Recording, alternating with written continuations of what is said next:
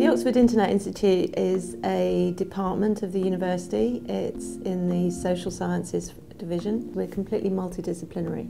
For example, I'm a political scientist and we have sociologists and economists and other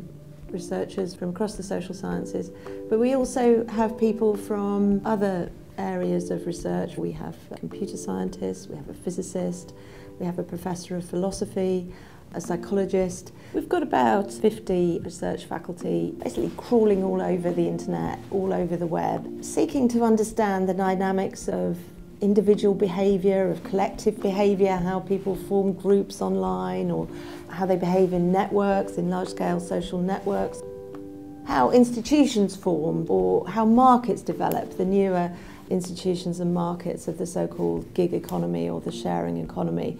We look at all those things, we try to understand the changing dynamics of those, and we also try and have policy impact with our research. So we try and think about how those institutions, those emerging markets can be um, shaped perhaps to optimise um, social outcomes.